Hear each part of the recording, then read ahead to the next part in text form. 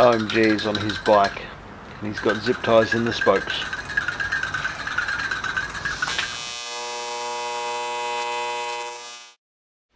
Welcome back to the Shed Quarters, I'm Jeff and in today's video we're looking at this little beastie, a universal bender. Now this is for bending flat steel up to 100 millimeters wide and 7 millimeters thick and it's got different blocks that bolt into here so this one's got a sharp edge and a 45 degree and this one's got two different radiuses radii and there's another one's got a groove down the middle so you can put round bar in there. Now, don't know how thick the round bar can be up to. I haven't really read the instructions. But this machine is actually on loan to me at the moment. A friend of mine bought it probably six months ago and I asked if I could borrow it. Was still in the packaging, so I get to play first. Alrighty then, let's start by making a temporary mount. So it's going to be fairly solid for a temporary mount because, well, you got a fairly good lever on it to bend steel. So, let's do that.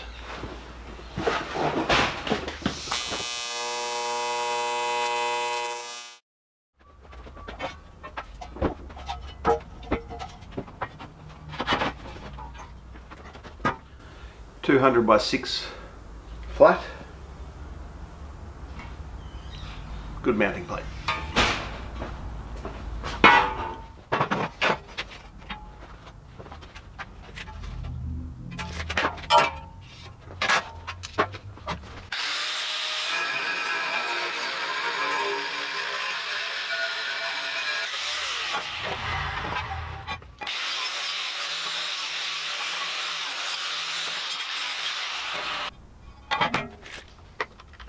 Measure from the outside of that hole to the same side on that one, it'll give you center marks. And these two holes are 170 mil apart. That's 200. If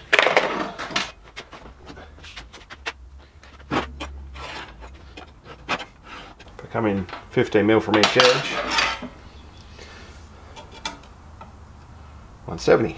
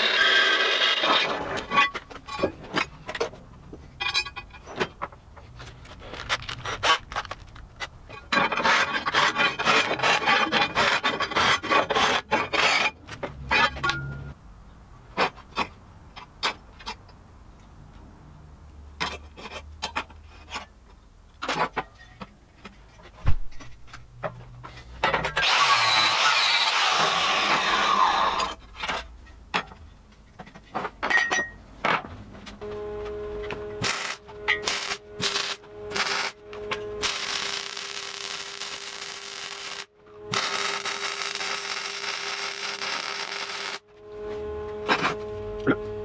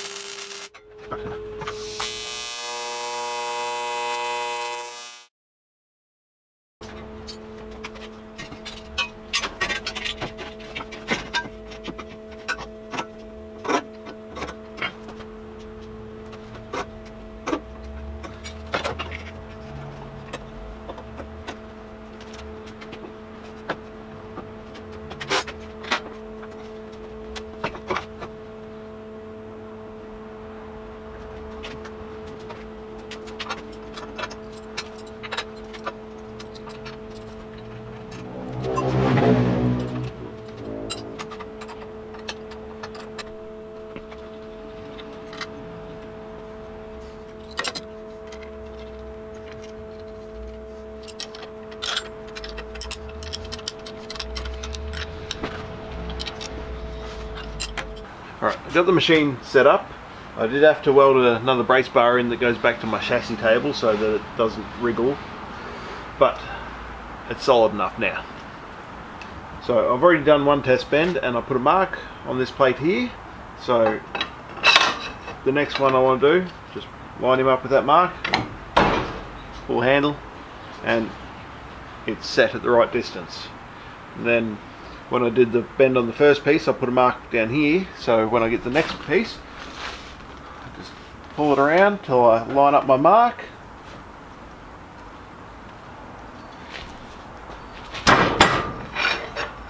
Done. One more time.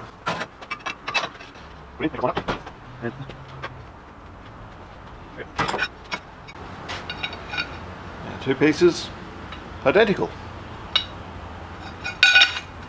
now I'm thinking I might need to get one of these machines for myself because as I said earlier this machine is on loan but this mounting arrangement is just not good. So what I've got is a couple of clamps holding this base piece on and then I've got another bar on this side that goes all the way across to my chassis table and yeah there's a lot of force on this to bend this plate so what I'm going to do is get a piece of 50 by 6 flat Going to put some bends in it. That's going to fit around the bottom of this plate and then from there we should be able to weld this onto the post that's in the middle of the shed. So that's about the strongest thing around here.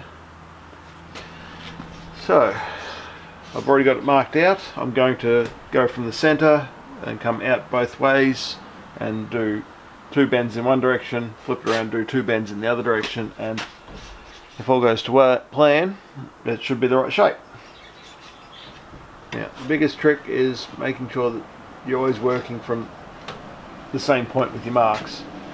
And another thing, you must always have this backstop here wound all the way in hard. Otherwise you get weird shaped bends because it's not putting pressure on it in the right spot all the way around. So, see what happens.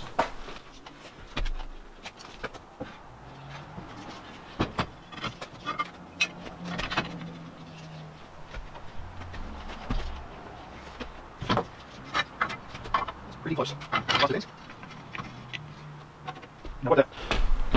I worked it out with the bevel about what angle I want. So just got to put this up here.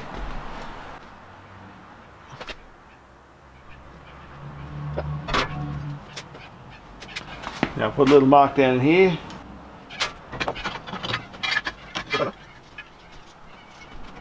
always remember to wind that in. Makes a mess of your bends if you don't. I'll just come back around to that same spot.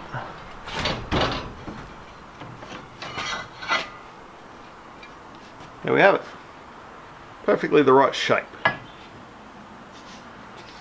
It's a house. So I should be able to disassemble all this now, take that top plate, weld this to it and then weld all that to the post. That's the plan anyway.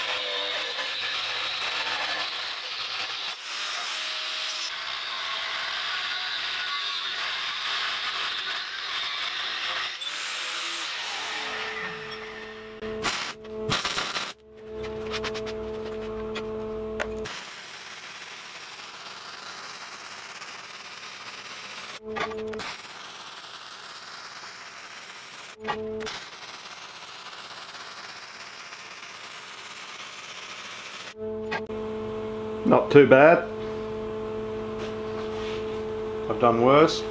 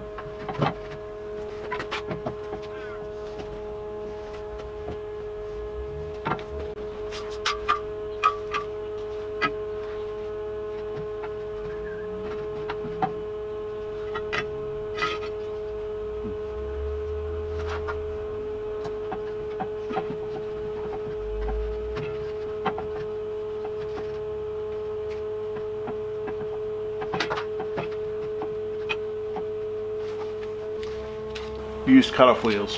Great for packers.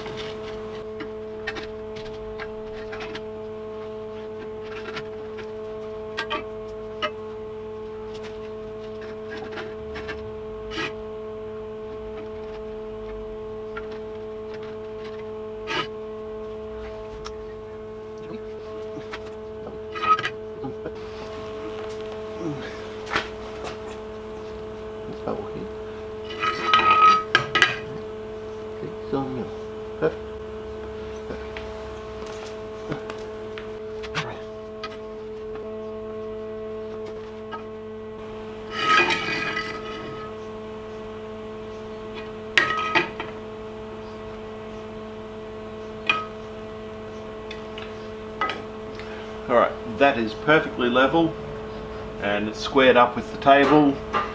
So, time to weld it, but first I must cover up this thing. This is the Cubman. It's a half-scale Lotus 7. If you haven't seen the build, then there's a very extensive build thread playlist here. So, cover that up, do some welding, fit this thing up.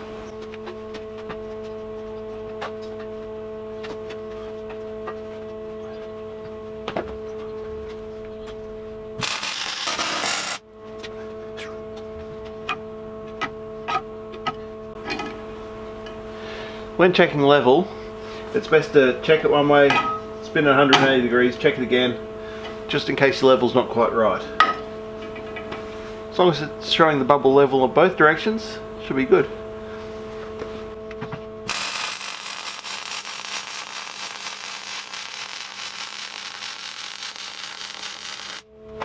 Yeah, that'll do I guess.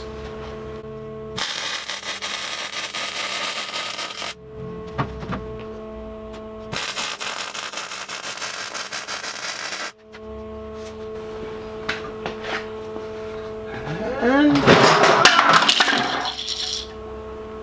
that works.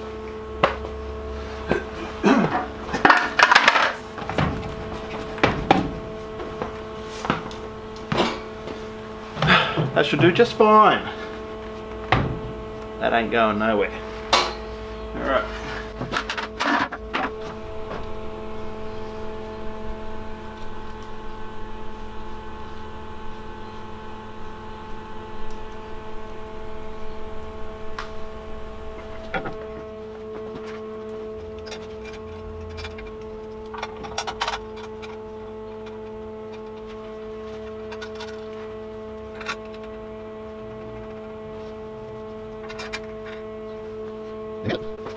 Yes, that is a chrome socket because I like to live dangerously.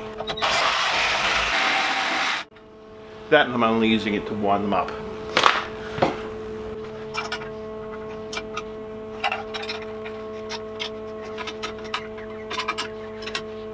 Sorted.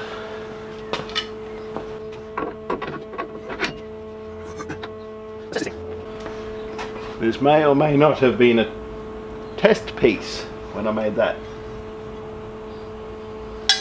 It's meant to be that shape, honestly.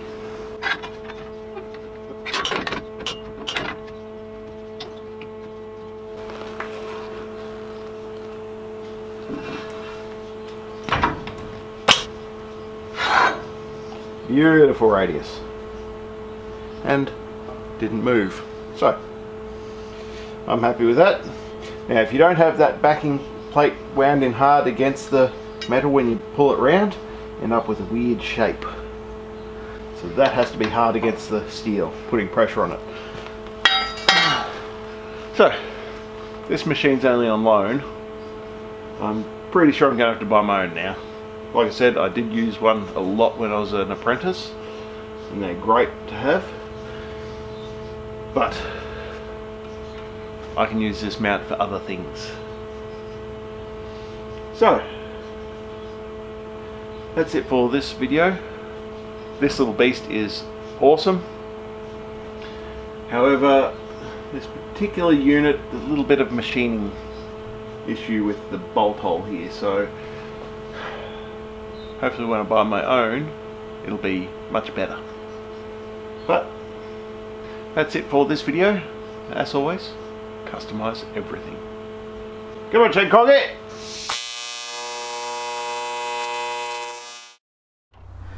Going to build a special lightweight race engine.